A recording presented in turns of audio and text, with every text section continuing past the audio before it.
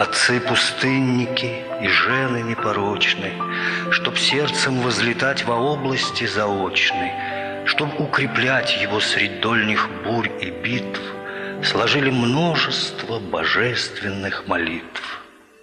Но ни одна из них меня не умиляет, как та, которую священник повторяет в дни печальные великого поста.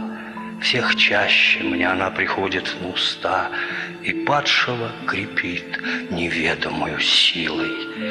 Владыка дней моих, дух праздности унылой, любоначалия, змеи сокрытой сей и празднословия не дай душе моей.